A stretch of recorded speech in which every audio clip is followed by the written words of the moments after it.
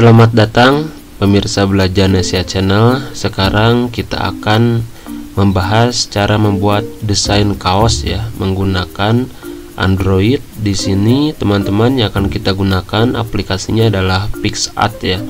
Nanti tampilan hasilnya seperti ini. Teman-teman nanti bagi yang mau kita akan dibagikan hanya mockupnya saja ya teman-teman. Nanti kita bahas juga barangkali teman-teman memerlukan gambar ada yang gratisan nanti uh, kita coba bahas. Oke kita langsung saja pada tutorialnya. Oke teman-teman silahkan dibuka dulu handphonenya. Mohon izin di sini admin menggunakan uh, aplikasi emulator ya untuk Android. Makanya aplikasinya PixArt seperti itu. Dan untuk di sini e, masih menggunakan kursor ya supaya lebih jelas. Nanti teman-teman e, bila mana menggunakannya di sini saya mengklik kalau di Android atau di smartphone teman-teman tinggal di tap saja ya seperti itu. Oke silahkan dibuka di sini untuk e, tampilannya di PixArt ya error karena saya tidak ada akses internet. Kita coba dulu caranya teman-teman. Silahkan tap pada tombol plus seperti itu. Oke di sini sudah ada ya yang sudah kita buat teman-teman kalau kita lihat bisa dicek ini yang kemarin ya Tuwibon kalau sekarang membahas uh, tentang kaos ya.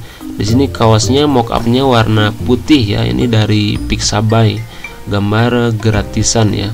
Oke saya uh, jelaskan dulu teman-teman di sini yang akan kita gunakan atau langkah pertama ya yaitu color background ya. Di sini pilih saja di bagian bawah seperti itu nah di sini ada gambar kotak-kotak ini berarti transparan. Teman-teman silahkan disiapkan gambarnya dan juga disiapkan untuk mockupnya. Nanti bisa di download caranya ada di durasi ketiga menit cara mendapatkannya. Oke kalau sudah digunakan eh, maaf maksudnya kalau sudah mendapatkan mockup dan gambarnya teman-teman silahkan kita masuk dulu ke dalam add gambar ya. Di sini ada add gambar add foto atau add gambar kita pilih saja. Di sini teman-teman yang kita gunakan hanya satu gambar saja. Eh, sedikit informasi teman-teman bisa mendapatkan banyak gambar seperti ini. Nanti kita siapkan linknya di deskripsi ya. Gambar ini eh, aslinya ada vektornya juga. Pada saat admin eh, mendownload ya ini admin tidak mendownload gambar pada eh, versi vektor tapi hanya contoh saja untuk bitmap. Dan notif juga teman-teman di sini yang mendapatkan file silahkan klik halaman link download yang ada di deskripsi. Setelah itu nanti teman-teman akan dibawa kepada halaman blog. Cari tombol download biasanya paling bawah. Ketika diklik nanti akan langsung dibawa ke Google Drive. Silahkan di download dan selamat Anda bisa mendapatkan file desainnya secara gratis tentu dengan dibaca ketentuan dalam pemakaiannya. Di desain pembahasan fokus hanya mendesain kaosnya saja bukan mendesain gambarnya. Kalau bentuk seperti ini harusnya digunakan di aplikasi desain vektor ya. Kalau di sini kita membahas aplikasi desainnya mengolah gambar bitmap. Jadi di sini kita tidak membahas membuat gambar seperti ini, tapi membahas gambar e, menerapkan gambar dan mendesain kaos dari gambar yang sudah ada seperti itu ya. Kategorinya masih menurut admin masih sama desain kaos ya seperti itu. Oke, kalau sudah teman-teman bahannya di sini banyak di internet tentu harus dibaca juga lisensi penggunaannya. Di sini untuk e, kaosnya seperti ini. Ini mockupnya dari Pixabay sedangkan gambarnya dari uh, ya. Silahkan teman-teman di download kategorinya bisa uh, download vector school by Prepic ya. Boleh boleh seperti itu. Atau nanti juga kita akan simpan linknya di deskripsi. Oke teman-teman di sini kita absen saja. Nanti teman-teman silahkan di download saja. Selanjutnya langkah pertama kita buat dulu dengan gambar di sebelah kiri ya. Di sini ini kita buang saja dulu. Pada gambar sebelah kiri di sini kita ambil yang tengkorak dengan background warna coklat ya. Coklatnya coklat eh, muda ya seperti itu. Kalau ini coklat coklat tua kita coba eh, di crop saja dulu kita buang pada bagian yang sebelah kanan. Caranya tinggal dipilih saja crop seperti itu. Kita geser. Kalau sudah teman-teman digeser kita checklist. Oke seperti itu setelah itu teman-teman kita sudah punya satu buah gambar dan di sini simpan dulu di tengah ya. Kita perkecil sedikit.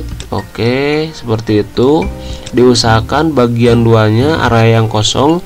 Yang ini adalah area yang nanti menjadi warna dari kaos kita ya. Dan begitupun kalau teman-teman menggunakan warna yang lain. Pada kaos yang ini kita contohkan gambarnya atau backgroundnya satu warna ya atau solid. Jadi bisa disesuaikan kita checklist dulu oke? Setelah di checklist teman-teman ini sudah jadi gambar dan area yang e, transparan kita isi. Di sini ada fit ya. Kita pilih untuk fitnya seperti itu. Dan di sini warna putih teman-teman bisa digunakan eyedropper ya. Di sini eyedropper saya tidak tahu istilahnya tapi biasa saya gunakan alat-alat seperti itu. Namanya adalah eyedropper. Kalau di aplikasi desain grafis ya seperti itu. Ini jadi belakangnya sudah sama teman-teman warnanya jadi seolah-olah ini gambarnya diperbesar ya. Kalau sudah kita checklist dulu. Setelah itu di checklist kita simpan ya. Kita simpan oke. Okay.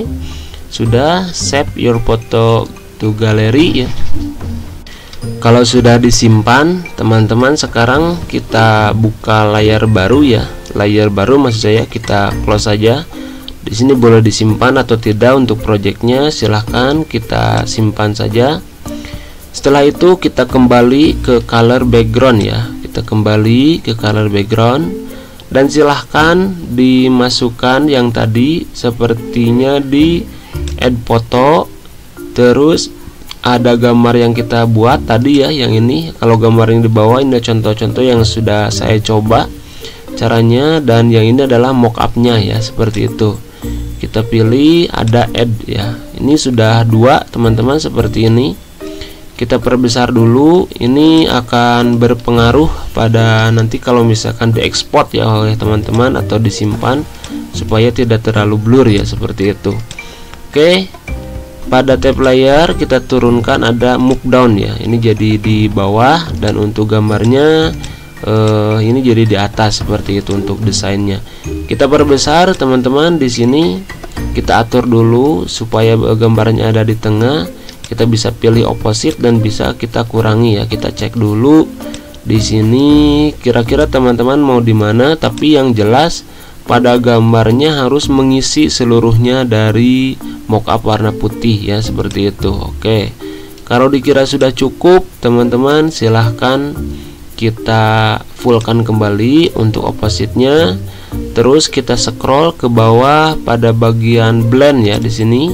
Bagian blend terus dipilih multiply seperti itu. Itu otomatis warna yang di kaos itu menjadi nempel ke belakang teksturnya masih ada dan juga untuk e, gambar warna hitamnya ini menjadi jelas ya kelihatan. Sedangkan warna belakangnya masih transparan seperti itu karena kita menggunakan efek multiply. Kita checklist dulu ini hasilnya teman-teman. Langsung kita simpan. Oke seperti itu. Dan kita cek di bagian galeri. Oke kita kembali dulu uh, save saja untuk draftnya dan kita cek di bagian atas. Ini adalah hasilnya.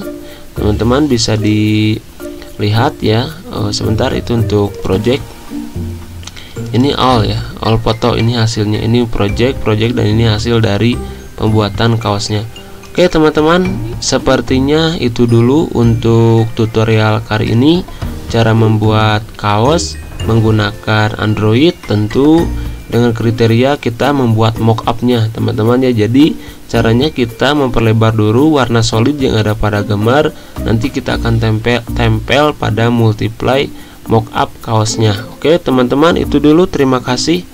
Mudah-mudahan bermanfaat tidak bermaksud apa pun. Uh, silahkan kalau yang tidak mengerti boleh di komentar. Salam belajar Nesia Channel